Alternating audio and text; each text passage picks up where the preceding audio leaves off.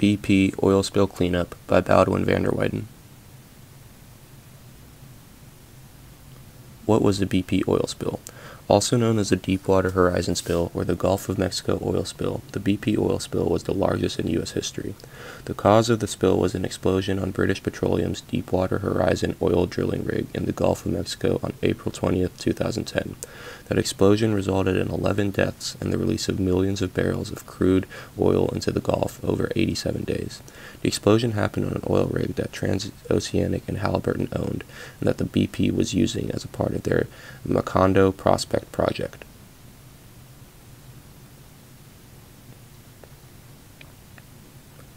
How slash why did it happen, specifically the human errors? In 2011, the government created a short list of what they believed went wrong.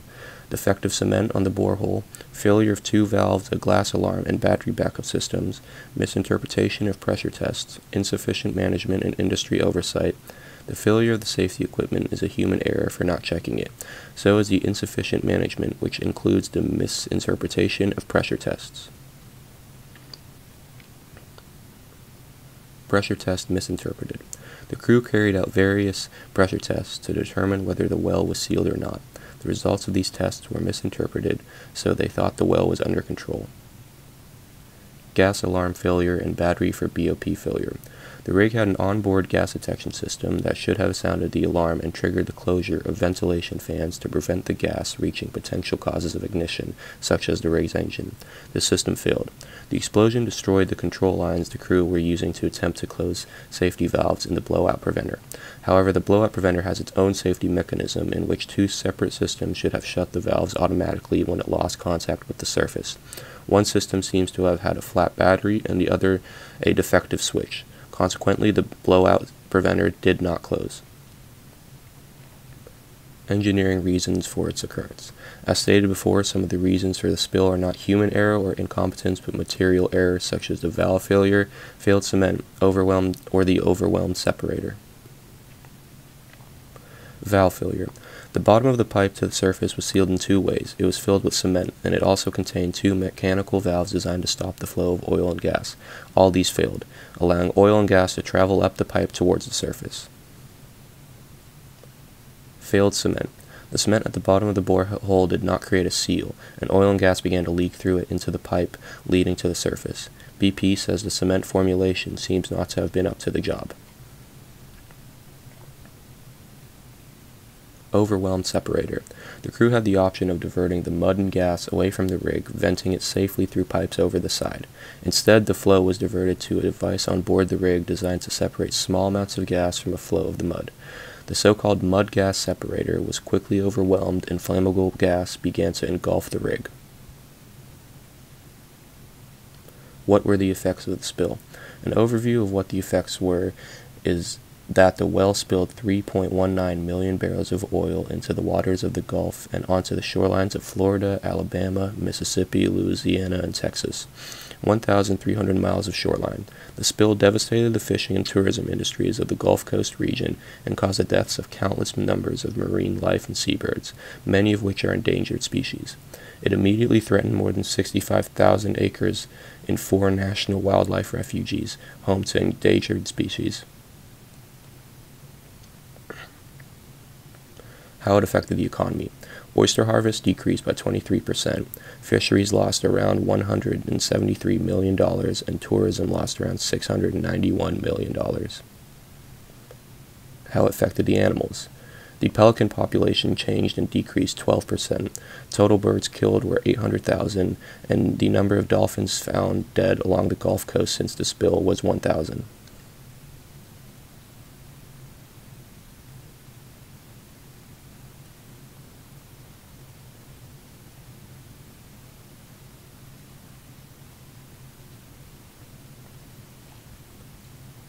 Overview of the cleanup process.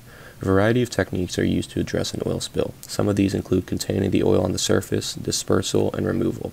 BP began, BP to get, began to document their daily response efforts on their website below, and onto the next couple of slides are the results.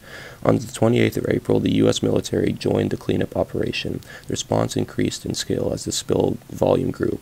Initially, BP employed remotely operative underwater vehicles, or ROVs, 700 workers, 4 and 32 vessels. By April 29, 69 vessels, including skimmers, tugs, barges, and recovery vessels, were in use. By May 4, 2010, the USCG estimated that 170 vessels and nearly 7,500 personnel were participating, with an additional 2,000 volunteers assisting. On May 31, 2010, BP set up a call line to, to take cleanup suggestions, which received 92,000 responses. By late June, 320 of which were categorized as promising. Overview of the cleanup process continued. In summer 2010, approximately 47,000 people and 7,000 vessels were involved in the response works. By October 3, 2012, federal response costs amounted 85 million, most of them reimbursed by BP.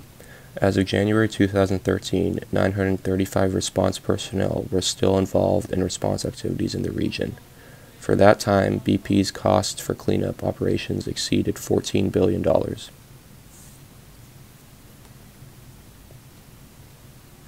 Step 1 Containment. The response included deploying many miles of containment booms whose purpose is to either corral the oil or to block in, it from a marsh, mangrove, shrimp, crab, oyster, ranch, or other ecologically sensitive areas.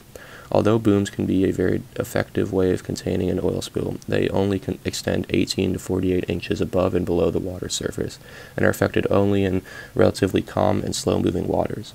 This means that booms can only work to a point.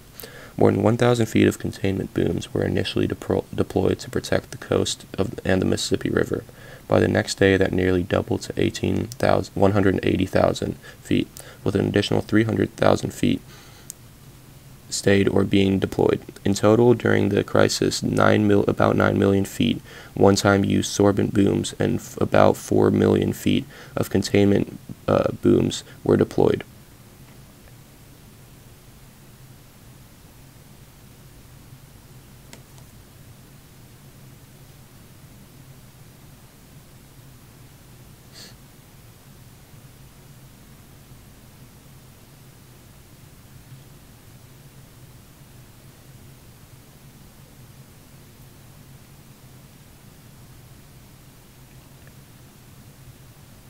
What are booms and how do they work?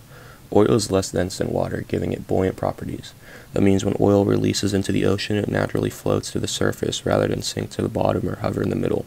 This makes containment booms highly effective at creating a barrier that traps oil in a thick layer on the water's surface.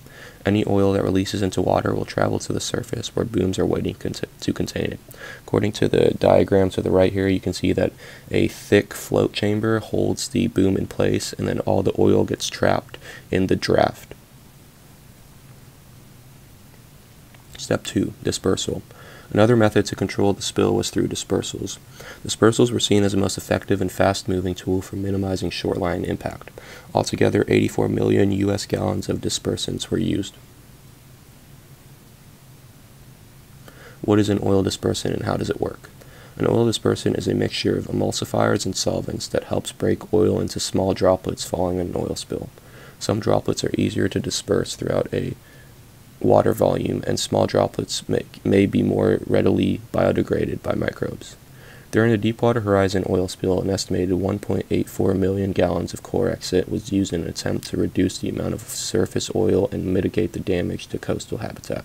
BP purchased one third of the world's supply of Corexit soon after the, after the spill began. Corexit is a product line of oil dispersants used during oil spills response operations. Corexit is typically applied to an, by aerial spraying or spraying from ships directly onto an oil slick. On contact with the dispersant, oil that would otherwise float on the surface of the water is emulsified into tiny droplets and sinks, or in the usual case of subsurface application, remains suspended in the water. This allows the oil to be more readily degraded by bacteria and prevents it from going onto beaches and into marshes.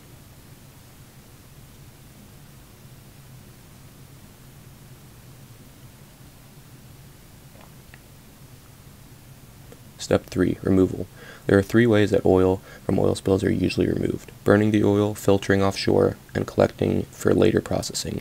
BP and its consultants decided that it would try to burn most of it and collect the rest through skimmers. Burning the oil. The USCG announced plans to corral and burn up burn off up to 1,000 barrels of oil each day. Within a few months, it was reported that an estimated 13 million U.S. gallons of oil was removed from the water by burning. The oil was collected skim through skimmers. More than 60 open water skimmers were deployed, including 12 purpose-built vehicles.